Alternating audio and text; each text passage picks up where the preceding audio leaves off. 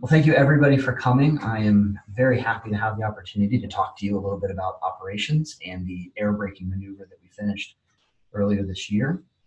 Um, as Tom mentioned, my name is Dale Theiling. Um, I am the lead for the Science Operations Center here at LASP. Uh, short version about what we do, we basically design and build the observations that the scientists want um, and provide those to uh, the MSA down at Lockheed Martin uh, to effectively communicate to the spacecraft what it is the scientists are looking to get out of it. Uh, and then on the downlink side, we do some of the initial processing of that data and then disseminate it out to the various uh, science groups. So a little bit about what I'm going to talk about. I'm going to give you a very brief history of MAVEN. Um, if any of you have been to previous uh, presentations, you may know some of that already, but I'll keep it quick. I'm going to talk a little bit about the general science operations that we had been doing up until uh, January of this year. And then I'm going to talk a little bit about what relay operations entail uh, and sort of a comparison between the two. And then I'll actually get to the topic of aerobraking. Uh, and then I'll tell a little bit about the science impacts and uh, what has occurred, what has had to change because of our change um, for aerobraking. And then a little bit, a little bit about what's coming up after that. So, a brief history of MAVEN. Uh, MAVEN uh, stands for, it is an acronym, it stands for the Mars Atmospheric and Volatile Evolution Mission. Uh, we launched on November 18th of 2013 and arrived at Mars on September 22nd of 2014 with Mars orbit insertion. Uh, interesting side note, uh, you may remember uh, as soon as we got to Mars, a comet also arrived very close to Mars. And uh, they're very dirty, spewing lots of gas and dust all over the place. And so uh, the only sane thing that a brand new satellite with brand new instruments that hadn't been fully checked out in orbit around Mars, the only sane thing that we could do was turn all of our instruments to that and start taking pictures like crazy. So we did that uh, even before we had fully checked out the spacecraft and took some invaluable science about how comets interact with the Martian atmosphere. Um, and a lot was learned about that. So uh, soon after that, in November of 2014, we started taking data.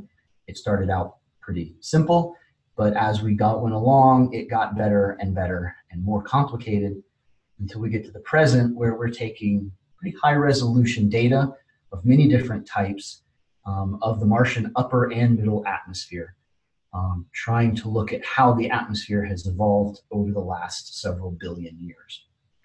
But enough about all that interesting science. We'll talk a little bit about operations. The orbit that uh, MAVEN is in is fairly elliptical. We have um, we, this is designed in such a way so that we can uh, take observations across a wide range of altitudes and uh, cross sections uh, of the planet's atmosphere. The red section there towards the top right that I have the arrow pointed to is called the periaps segment. We call this because periapsis is the closest point in an orbit uh, to the body that it's orbiting. This is the um, segment of the orbit where we do a lot of our what's called in situ atmospheric measurements. Um, this is where MAVEN actually dips down into the middle or the upper atmosphere uh, and takes measurements there. And so you can see on this plot, I don't know how well, there's my mouse, this solid dashed line right here represents the orbit of Mars. Now at the bottom you have time on the x-axis and altitude here on the y-axis.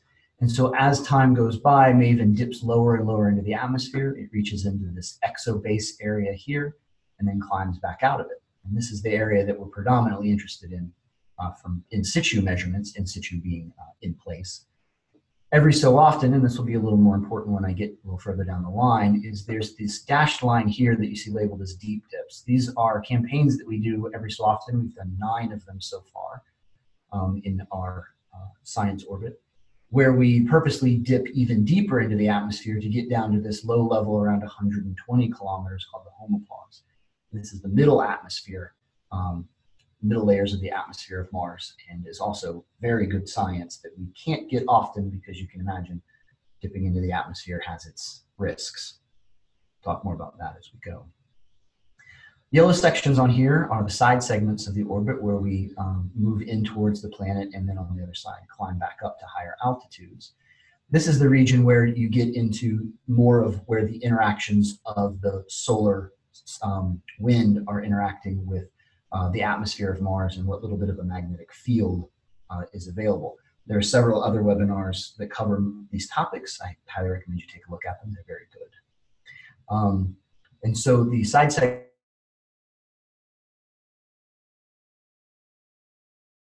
the atmosphere and look at uh, slightly higher altitude uh, sections of the atmosphere. The light blue segment here is the uh, excuse me, uh, is the apoapse segment.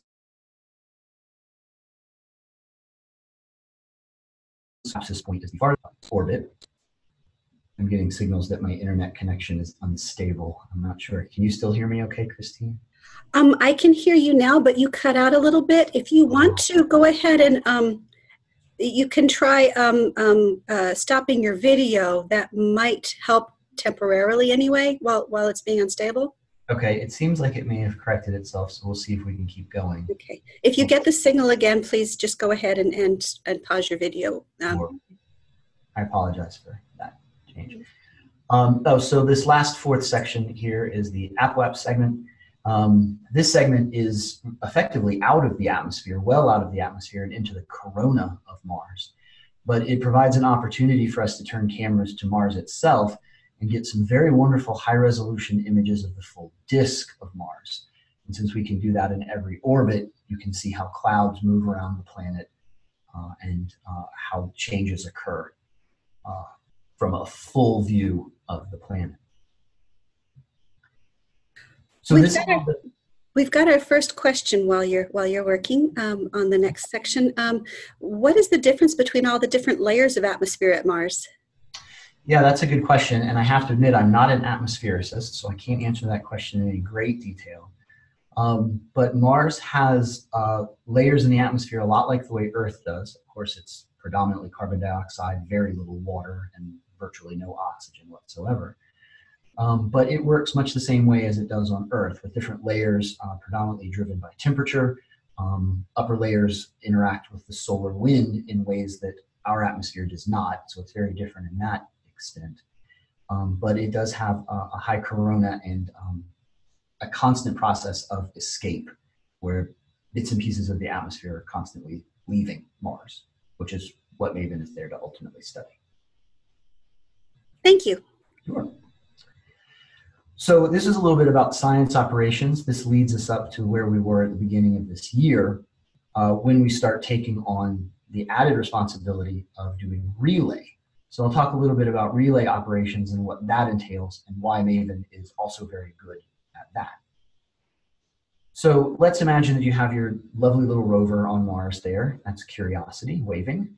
Uh, and you want to communicate the data took back to Earth. Now, Curiosity can communicate directly with Earth, does it sometimes, um, but it's fairly slow. Uh, at about a maximum, it can handle about 32 kilobits um, per second. Uh, so those of us old enough to remember dial-up modems, that's the sort of level that you're talking about there. So a gigabit, which is an easily produced amount of data for a rover like Curiosity, would take 8.7 hours to reach Earth.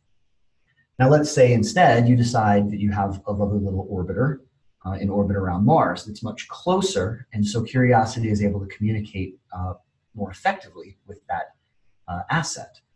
Going from Curiosity to Maven, that bandwidth jumps up to about 2000 kilobits per second as a maximum. And so that kilobit or gigabit, excuse me, of data only takes 8.3 minutes to get to the spacecraft. Now, because we're partially designed for it, we can then transmit back to Earth at about half that rate, 1,000 kilobits per second. So that gigabit takes about 16.7 minutes to get back to Earth. So you can see that even if you're having to account for the time it takes for uh, to go from the rover to Maven and then whatever setup time or science that we're doing and then back to Earth, you can see that it actually gets quite a bit more data back to Earth much faster to have a relay. So the reasons for this, we have a very large high gain antenna. Uh, Curiosity has one that's you know on the order of maybe eight inches, nine inches or so, something like that. Um, Maven's is a little over two meters. You can see it quite prominently in that little image there. And so we're able to push a lot more, uh, a, a, larger radio signal to Earth uh, with that. We also have more power. Those great big solar arrays make it so that we can transmit at a higher rate. And frankly, we have uh, a longer visibility with Earth. Being in orbit allows us to have uh, Earth within our line of sight for 16 18 hours out of every Martian day. For Curiosity, there's going to be half of a Martian day every day where Earth is set effectively below the horizon. And so we have more time available to transmit that data. Now, all of these things are great when it comes to relay. However, they're terrible for the science that we want to do, and also vice versa. Relay operations and um, science operations don't play great together because there are differing things that you're trying to accomplish with the two of them.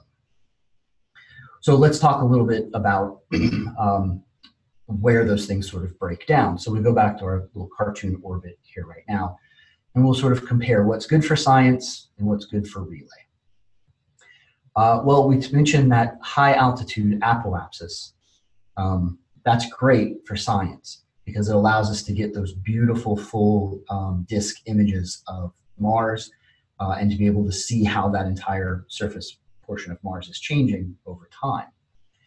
Not so great for relay. Um, when you can imagine at apoapsis, we're about as far from the planet and therefore the far as far from the ground assets as we can be. And so we don't, um, it, the bandwidth available to us is actually slightly decreased. It also turns out through orbital mechanics that when you're at the highest portion of your orbit, you're also going about as slow as you can ever go in that orbit. Um, and so we spend a majority of our time in orbit in and around that apoapse segment. So if Curiosity happens to be on the other side of the planet, it's going to be hours before we come back around and have that overflight to be able to get the data from the uh, from the rover. The low periaps altitude is also great for science. I mentioned this as an opportunity to get these in situ, in place, in the atmosphere data. Um, that is invaluable if you're going to be talking about how that evolution of the atmosphere has occurred. Terrible for relay uh, for two reasons. One, even though we're nice and close to the planet at those at that stage of the orbit, we're moving very quickly, and so if Curiosity wants to communicate data to us, it has to do it on the order of minutes uh, in order to be able to catch us before we swing back around uh, towards the other side of the planet. The other reason that it's bad is because we're actually dragging through the atmosphere and dragging through the atmosphere sets up um, some uh, imprecision in our ability to predict our orbit out into the future. It's a very small amount, but orbit after orbit, it does in fact build. And so if you are Curiosity or some other um, lander on the surface of Mars, and you want to predict out when you're going to be able to have a relay and how much data you're going to be able to return, not having a predictable uh, relay of where it's going to be in the orbit is a pretty big downside. And so that uh, imprecision in, and changeability in our orbit due to the drag of the atmosphere is bad for relay. Um, I didn't talk too much about this, I'll mention it here. A lot of our observations that we do uh, throughout this orbit are instrument and science driven. Each of these different segments of the orbit um, have a completely separate orientation, completely different pointing for the instruments, and different primary goals that we're trying to get out of the science. Um, so MAVEN is not just in a static orbit around the planet. It is constantly changing position, rotating, tilting. The instruments are looking in all different directions. That dynamic aspect of um, orientation and positionability for the spacecraft is a huge boon for science because it means we can take advantage of all the different aspects uh, of the orbit and take measurements that are best suited for where we are in our altitude and position above the planet. So, great for science. Again, not great for relay. What relay wants is for its instrumentation to be pointing down, nadir, at the planet at all times during the orbit, pretty much a set position uh, to the spacecraft. Um, that's not fun from a science point of view, to be frank uh, because we want to be look, able to look in lots of different places and to be able to change where we look in order to have different um, uh, activities if special science uh, makes itself available. So what you really want for a relay is an orbit that's a little more circular, lower apoapse, higher periaps, and a more fixed position to the spacecraft. Now, there are a couple of spacecraft around Mars that are more like that. Um, you may have heard of Mars Reconnaissance Orbiter uh, and Odyssey, both solid science spacecraft, but also do a great amount of relay because they're closer into the planet um, and are better suited for uh, relay operations. Excuse me. However, they're getting old. MRO is, I believe, 13 years old, and Odyssey is 18. Um, so they're getting pretty long in the tooth. And that level of technology that they are still have on board simply doesn't move as much data as Maven can with its more up-to-date uh, technology. And so Maven is a very necessary part to the communications aspects that we have uh, in orbit around Mars. And so several years ago, NASA directed the Maven mission to move itself or better position itself uh, generally uh, as a relay orbiter as well as continuing doing uh, the science that we do. One piece of that was to change our orbit uh, to be better uh, able to support relay operations.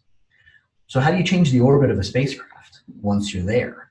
Well, one way to do it is to just use thrusters. Um, you can uh, boost yourself into a new orbit by burning fuel.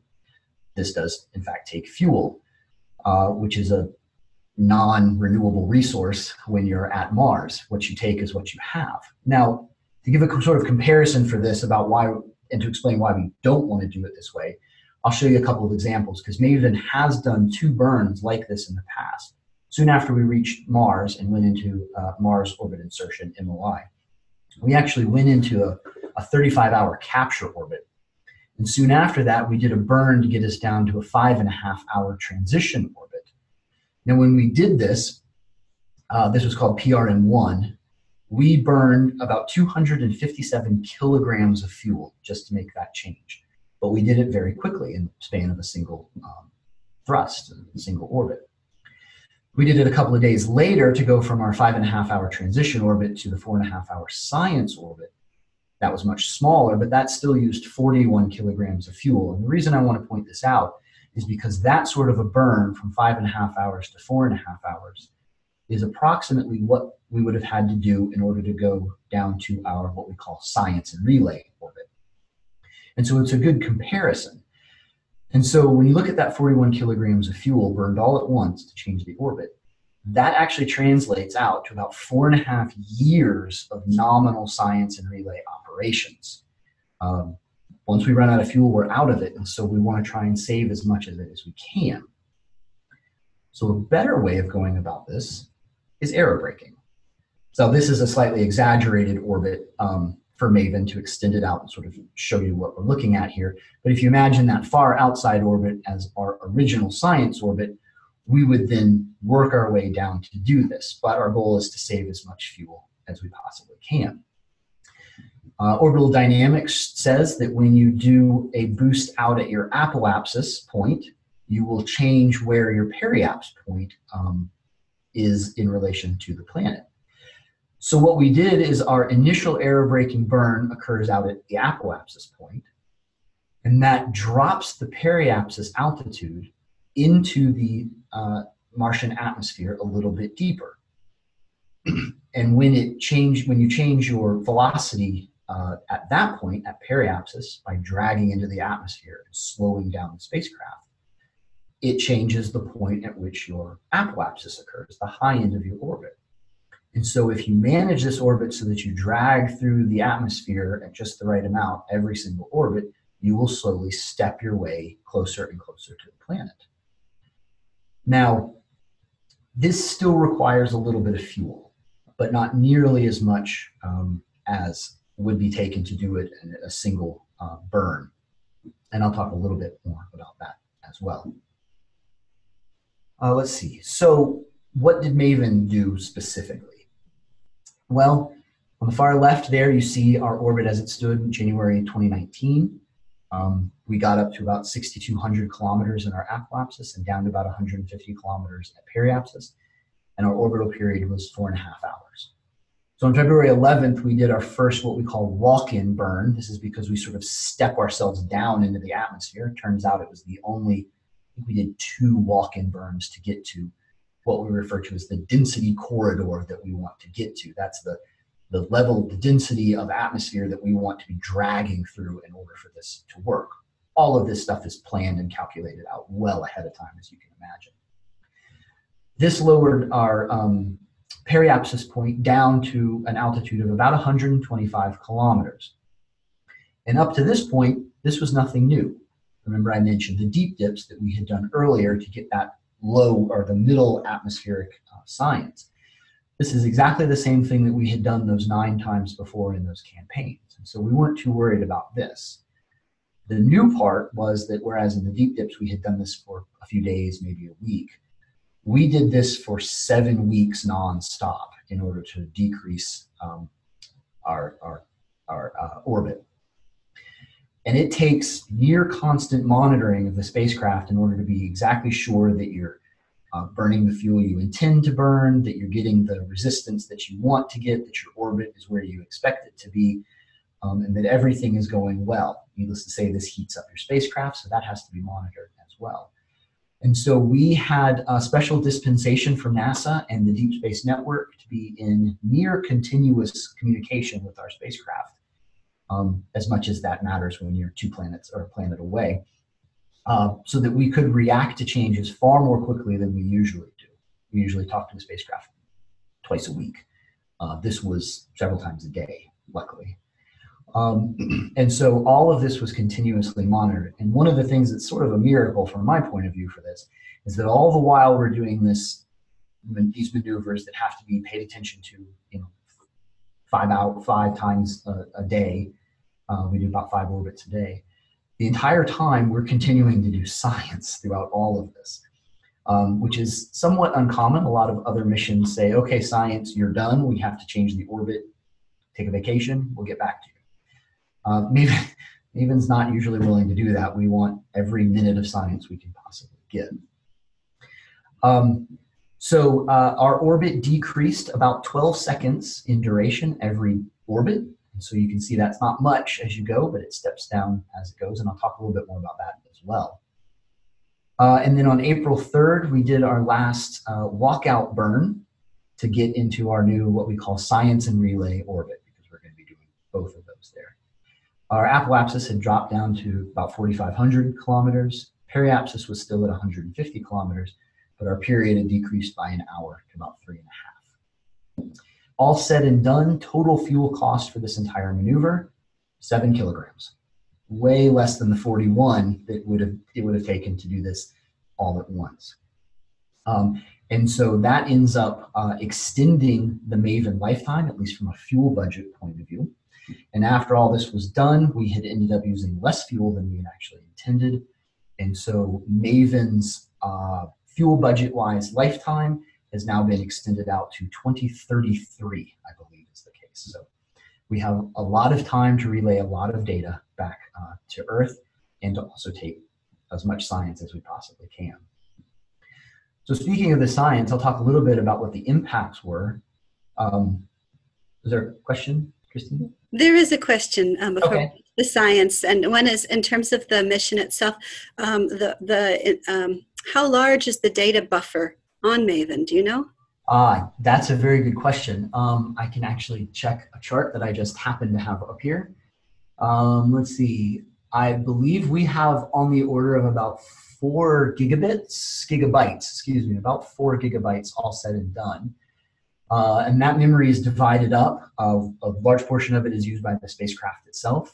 Um, each of the instruments gets um, a memory section.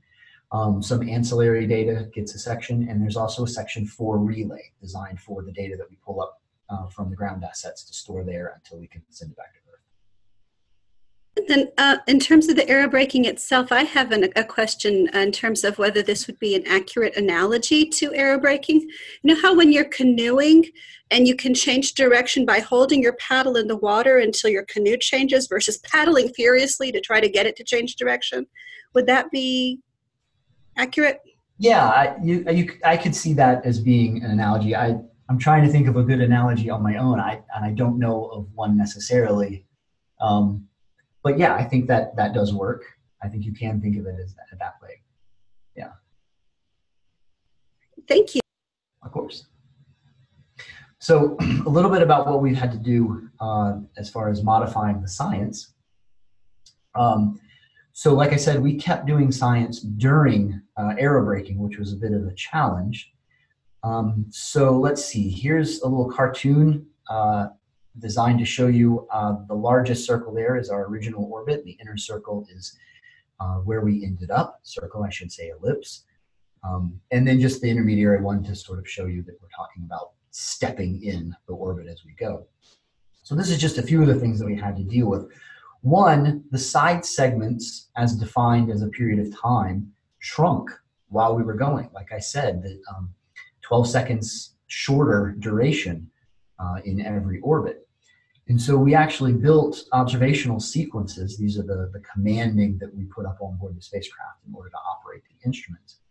We actually designed some of those so that as the orbit shrunk, the sequence itself could recognize that the sequence was getting shorter. And as it went, it would cut out images. It would just self shorten as it went. And so you could continue taking observations without constantly having to update the commanding uh, in order to be able to handle that shorter uh, side segments there. Um, we had to do quite a few ongoing adjustments to the pointing and the timing of, of a lot of these. Some of our instruments are interested in, in changing what measurements they're taking depending on altitude, which you can see as the orbit changes, your altitude timing changes for all of those. And so we had to make updates yearly, weekly uh, to be able to compensate for that.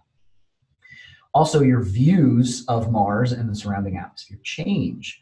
Um, one aspect of the side segment observations, and I tried to illustrate this here, is that the spacecraft always looks out from wherever it is in the orbit. So as you swing around that arc in the, in the uh, side segments, the pointing sort of changes as it goes to be always perpendicular to that.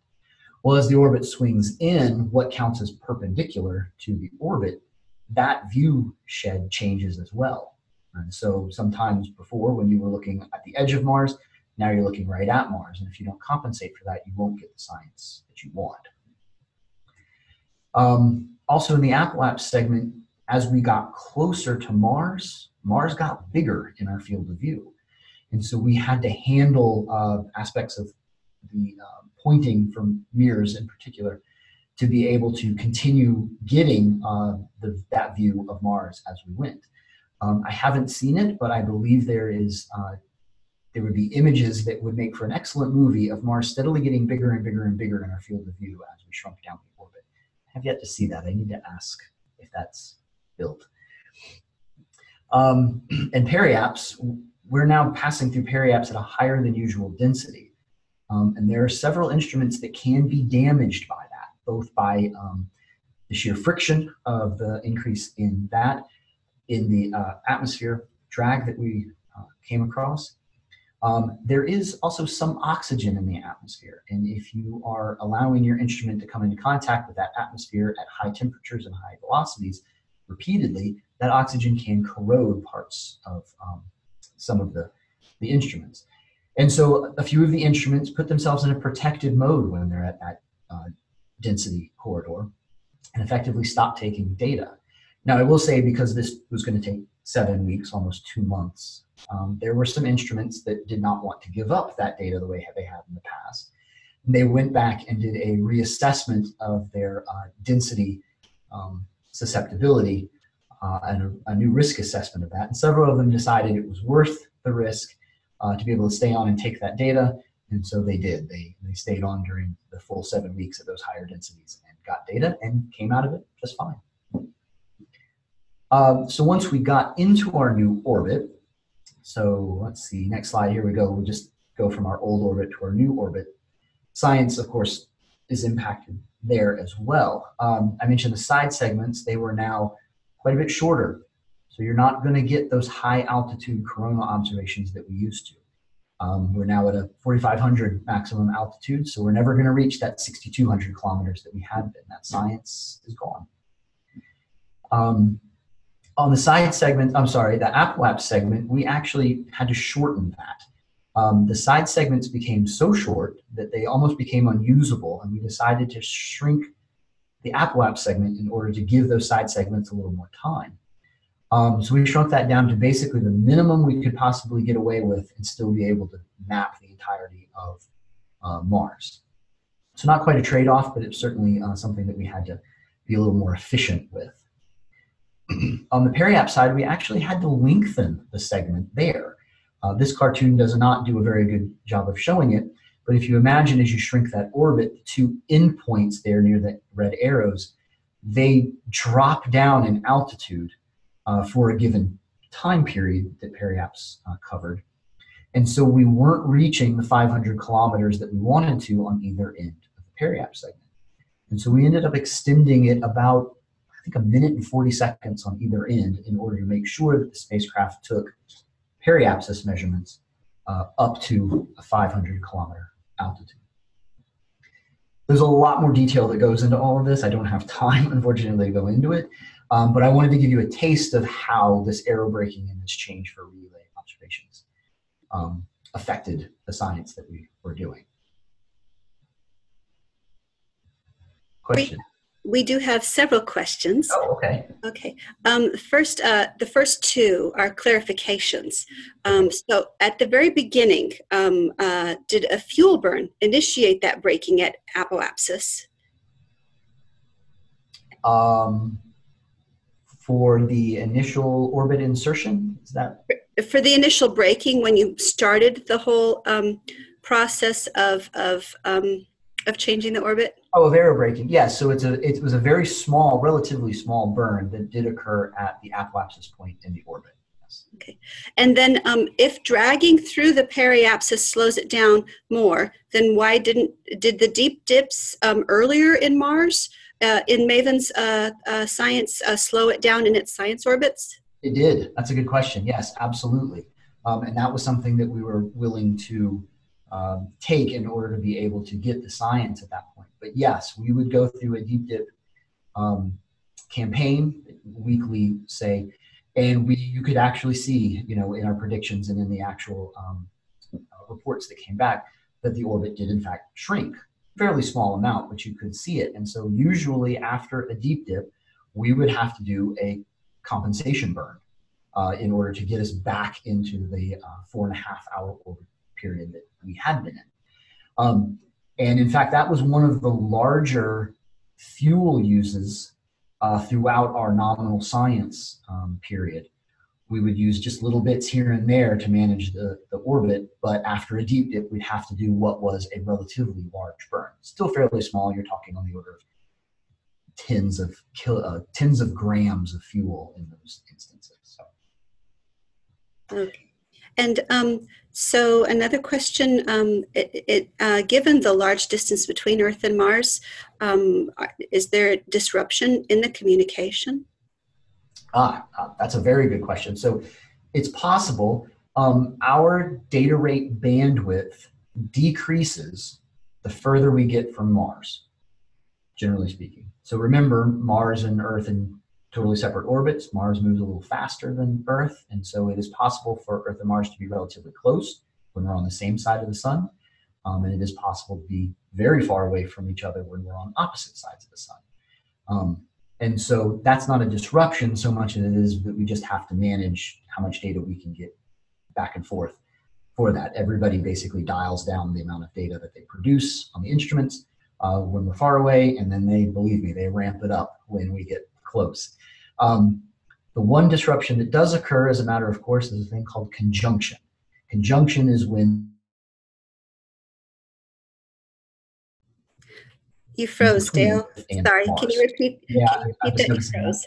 I got a little message there. I'll go back. So conjunction is one um, disruption.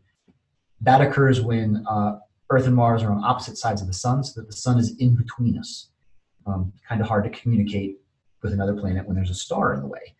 Um, and we're actually coming up on one of those instances uh, the beginning of September. We will be out of contact with everything on Mars um, for about a little over two weeks, I think. Uh, and so all the different missions get themselves together and figure out what they can do. They take data if they can, uh, store it, and then after we come out from behind the sun, there's a multi-day period where, and we will be relaying a lot during that time, where all that data gets sent back to Earth. Uh, and then we continue with nominal operations from there. Awesome. Last question for right now. Um, you mentioned um, what the limitations for the uh, observations, but the fact that they were making observations during this whole process, mm-hmm. uh, during aerobraking. Um, are you going to have the chance to tell us anything about what they saw, what the observations indicated? Um, so uh, that's fodder for several more of these. I think uh, is you can talk about that sort of thing. Um, and I'm since I'm not a scientist, I can't talk directly about that. I can say that for the most part, um, the observations that they took um, in the side segments in yellow uh, and in the blue in the apoapse were very much like the observations that they had been taking, uh, modified for changes in orbit and timing um, and what they were actually able to reach. But for the most part, the actual science that they took stayed fairly nominal. Um, the periapse science uh, always changes when you go to a deep dip. Um, several of the instruments turn their data rates up very high. They uh, start measuring for different uh, molecules and atomic uh, atoms and um, ions in the atmosphere. Because, of course, if you're getting down to that lower level, there's a whole other population of stuff down there. Um, the real thing that came out of it uh, for that periapse deep dip science is that we now have seven weeks at a go of um, of that measurement. Whereas before you get a week at a time and then maybe six, nine, 12 months later you get another week. Here was seven weeks consistently all across um, the Martian atmosphere where measurements could be taken. Um, and I, I guarantee you there are still scientists poring over that data. We just finished aerobraking a couple of months ago. And so a lot of that is still actually being looked at at a very basic level. Awesome. Thank you so much. Sure. Sorry, I can't give more detail on that, but hopefully we can do uh, some. We can get some of the other scientists on and talk about there. Um, so that's in effect where I ended uh, with the science impacts. There is, is sort of the end of the aerobraking discussion. There's a couple of other things I want to talk about, and that's what what we're looking at doing next when it comes to relays um, and changes in our orbit. So we'll jump sort of back here and um, have our little cartoon with Curiosity talking to Maven and Maven talking to Earth. But as many of you know, especially with the original question early on uh, in this um, webinar, that Curiosity is not the only ground asset there. Last year, InSight arrived, and we are doing uh, relay operations uh, for InSight as well. Um, in 2021, Mars 2020, and yet another large rover is going to be arriving. Uh, there is a joint mission with the Europeans that we're doing called ExoMars that we'll be getting there in 2021 as well. And this is just in the next couple of years. Since we're looking at a Maven lifetime of till 2033, that's 13, 14 years um, in which there will be six or seven other windows to travel to Mars for these robots. And there will be a lot of them at Mars, all of them taking more and more data and all of them vying for time to be able to send it back to Earth. And so our relays are going to increase from here on out. Uh, when we first started doing relays back almost a year ago, even before we did this uh, orbit change, we were on the hook for about a relay per week. Not too big of a deal. Right now, we're at about a relay per day. And it is getting to the point where it is cutting into science fairly extensively. We are feeling it from a science. But here in the next couple of months and uh, going into 2020, we're going to be on the hook for three to four relays per day. And for the amount of time that each of those takes, that will eventually come to about 50% of our time uh, being dedicated to relay operations. So relay and science are going to have to play nice because they are becoming equal shares of the reason that we're at Mars. The one thing that some of you may have noticed is I talked about periapse being low was bad for relay and good for science, but we didn't change our periapse altitude um, in this aerobraking procedure. So that is another thing coming up uh, in the near future. We have our old orbit. Here's our new orbit. Periapse is effectively unchanged. But in 2020, I think mid 2020, we are actually going to be raising our periapse altitude from the roughly 150 kilometers that we're at now up to about 220 kilometers. You may think that isn't a whole lot in the grand scheme of things, but uh, that altitude, I will show back this uh, image that I showed you before, again, with the solid uh, line being the nominal depth that we reach uh, in our periapse, going to 220 kilometers actually raises us up above the level of the exobase. And so MAVEN will no longer be skimming down into the upper, the true upper atmosphere of Mars. That will be a big loss for MAVEN science. It will be a big gain for MAVEN relay because now we will be able to predict our orbit with a very high degree of accuracy a month plus in advance. And so relays will be able to be uh, better scheduled and better communicated uh, all across the different assets that are on the ground. Uh, and that is pretty much it. That went a little faster than I expected, even with the questions, but that just gives us more time for me to answer questions for everybody else. Dale, I had one follow up question for you based on the, your response to the last question, and that is um, so you had this effectively a seven week deep dip, and you mentioned a risk uh, of having corrosion to your instruments by encountering oxygen in the atmosphere. Was there any um, study done to predict how much of that effect you would see during this deep dip campaign that basically was similar to all of the total of the deep dip that we had experienced prior um, during the mission? Yeah, that's right. Um, we had done nine deep dips before that, each one uh, close to a week in duration. And so this was effectively a, doubling of our time at that mid level atmosphere. Um, there have been many studies done about what the effects of oxygen would be on the instruments. Some of those um, tests done before we even launched uh, to get an idea of how um, well we would stand up to the level of oxygen in the Martian atmosphere. Uh, a lot of that has been refined since we got there.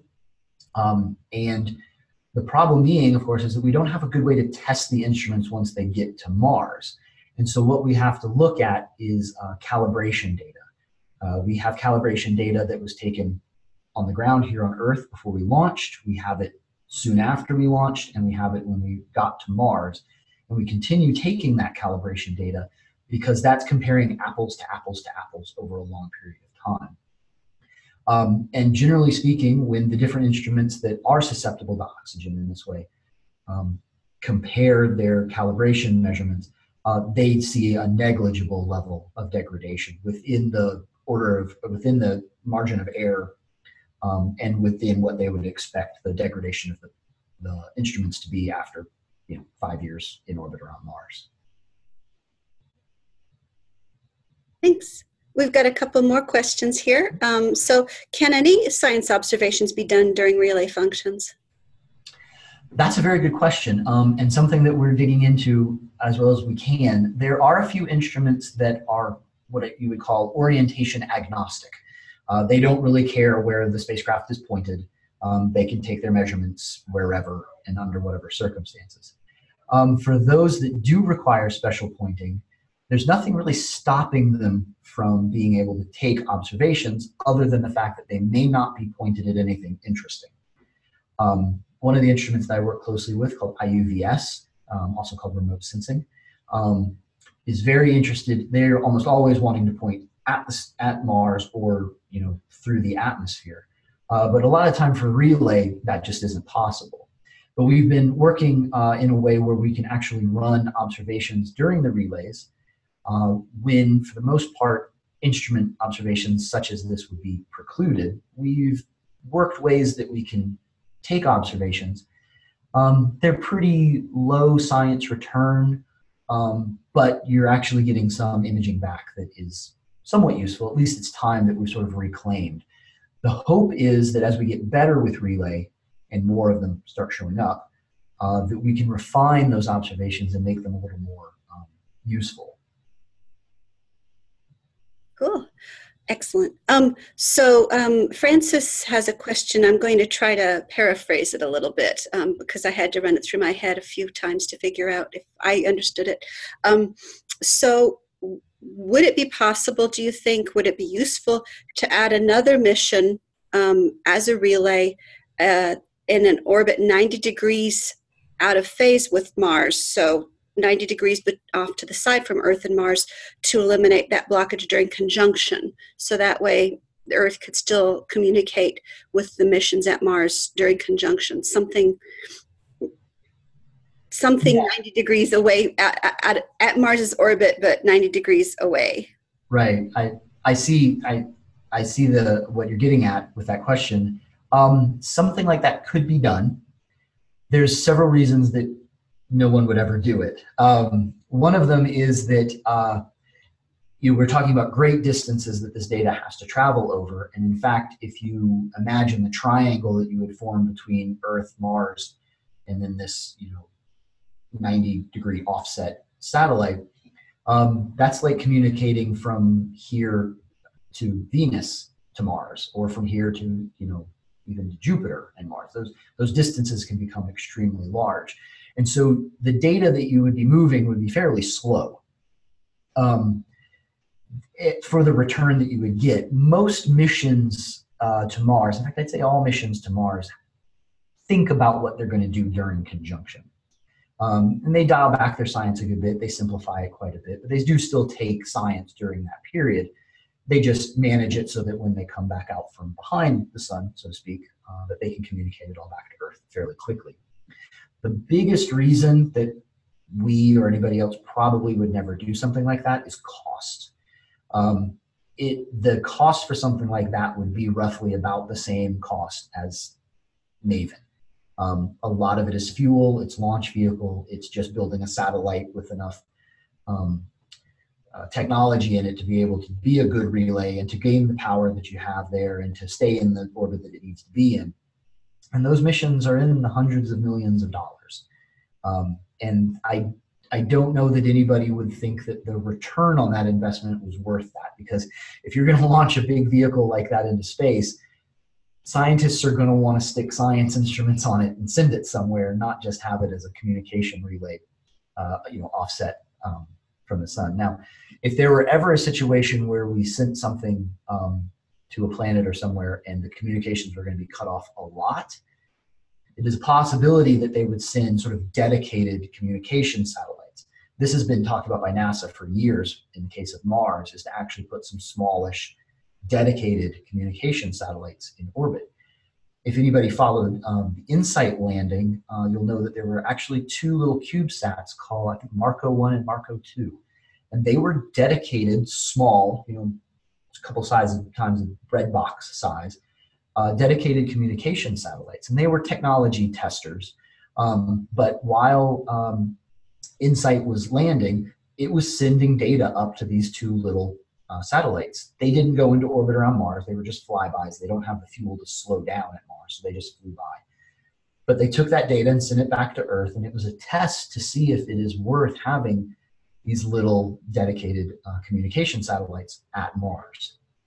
But putting them one, putting one out into the solar system like that, is a, a, a whole other uh, can of worms.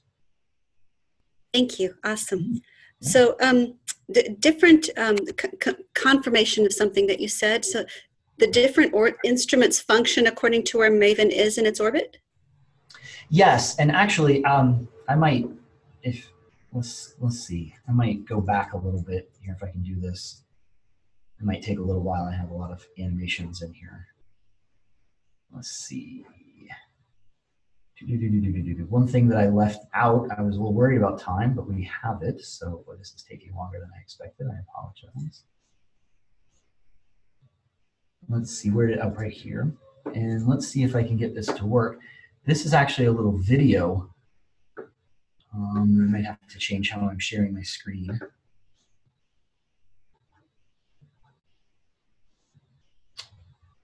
Uh, let's see.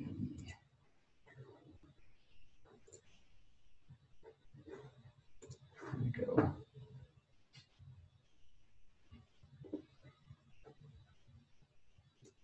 So hopefully everybody can see this video now. Yes, we can. Thank you. This is a, a little mock-up video that shows how Maven's orientation changes as it orbits Mars. There in the top left, you can see Maven um, as it moves, and then the larger picture there is representation. And so this is a changeover to our periapse orientation. You can see Mars flying by there. The little um, sort of shaded out areas are uh, the instruments that are on the articulated payload platform. Um, it hangs off the bottom. They have separate pointing from the spacecraft because we want to point in multiple directions um, at different times.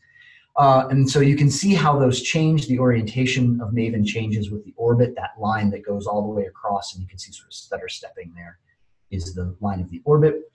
Um, and you can see the, the shaded areas of the views of the different instruments, and you can see how those change as well. And in fact, not only do we do different orientations for these different sections in the orbit, we actually swap back and forth uh, orientation, uh, they're called scenarios, uh, between even orbits and odd orbits. Because as it turns out, we have so many instruments on MAVEN that are vying for different times that not only we do it uh, orbit section by orbit section, we also do it orbit, orbit by orbit in order to give all the different instruments their fair share of observation times so that they can see what it is they're interested in seeing. Perfect. Um, actually, um, well, well, it doesn't matter if it was that one or your PowerPoint. Um, in it, you, you had the different colors of the orbit, and the next question asked, what does the purple segment of the orbit indicate? Ah, um, okay, good question. Let's see. So, hopefully I have, can you see that image again there? Uh, so the purple section right here and you'll also notice there's these green sections in here. I'll talk about those too. That purple section is actually uh, what's called a desaturation uh, period in the orbit.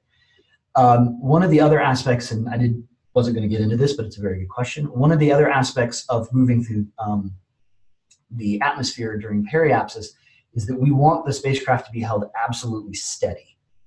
Uh, and so we use these things called reaction wheels. Um, that can vary their rotation rates based on electrical input. And those rotation rates act as gyroscopes.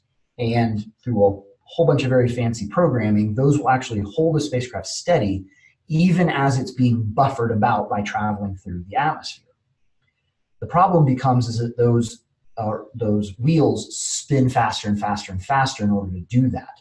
And so after we come out of a periapse, we have this period set aside so that if we need it, if the wheels have spun up to very high speeds, we will use the thrusters on the spacecraft in order to decelerate those wheels. So if you imagine if you try to rotate the spacecraft and the wheels try to compensate, you can actually rotate it the other direction and they'll slow down. So that's, we call it a desat uh, period in the orbit. The green portions you may have seen in this video, these are called slew sections. These are 10 minute sections dedicated to allowing the spacecraft to go from one orientation to another. Uh, and so that's sort of the transition period between the, the different uh, science sections in the orbit there. Awesome. Thank you. Um, let's see, there was a question about cubes that Tom answered. Um, how about um, how many instruments are there on MAVEN? Oh, and Tom just answered that one as well. Oh, okay. There's 10. Good. So, um, and he's provided links. Um, folks, uh, we're almost out of time. Uh, Tom, do you want to call it at this point? I think if there are no more questions, um, I did provide a few links here regarding the MarCO CubeSats. Um, as Dale mentioned, those were more of a technology demonstration, so we're no longer, excuse me, we're no longer receiving um, any communications from them. They did their job and did it well, and they're I don't know where they are now. They're sailing on past uh, maybe yeah. somewhere around the orbit of Mars in heliocentric orbit. They're out there with the Tesla by now. Yeah, that's right. They're in the glove box of uh, Elon Musk's Tesla.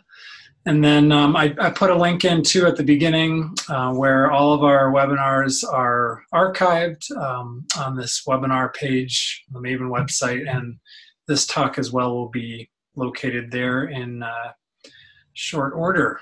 And uh, Dale, again, thanks for for being here. This was uh, very interesting, um, a different perspective. Uh, get the operations um, perspective on Maven, and at this interesting time during the mission. So we appreciate you taking the time to be here. And like just like NASA does, you've set us up for the next round of of funding, uh, like they do. You've set us up for the next round of science talks by leaving some some questions open about the science that we'll find from this uh, aerobraking campaign. And I think we'll have to schedule one of those in the near future. That'd be great. So you're getting lots of kudos in the comments, lots of um, thank yous, and one person says their four-year-old wants to know if you are a go into space man. I don't know if they mean going to Mars or just into space in general, or general if you need your space sometimes. Uh, I am. I am a go into space guy. I just I it. So Tom mentioned that I worked on Spirit and Opportunity back in the day. Um, and uh, one of the things that really stuck with me was the discussion we were talking about how great the science they were doing and all the stuff that they were doing and the years that they had been driving around on Mars. And one of the lead scientists, who's a geologist, said, "Yeah, you know, it's interesting. Um, uh, if a human being was there, we could do this in a week." And we had been there with those rovers for years at that. Um, people are would just be better. We have better brains than we can put into robots at this point. And while I'm very happy that we have robots to be our scientific ambassadors into the solar system, I think that um, if we really want to get out there and really feel the stuff that we're learning, uh, it's going to take us going there uh, ourselves. Awesome. Thank you so, so much. We, we all really appreciate it. And I hope that everyone will join us in September for a talk about the methane being studied in Mars's atmosphere. Yes, that'll be very interesting. Yeah, we'll have the MAVEN, uh, the lead of the MAVEN NGIMS instrument, which is the neutral gas and ion mass spectrometer, Paul Mahaffy, will be presenting on some of these uh, recent methane detections from the Curiosity rover because he's also a scientist on the SAM instrument, which is uh, responsible for those observations. Thank you again so much, Dale. We really appreciate it, and everyone uh, has commented how much uh, how much they really enjoy your responses, especially your go into spaceman response. thank you, everyone, for dialing in. I, I hope it was enjoyable and uh, educational, and um, thank you all very much for listening.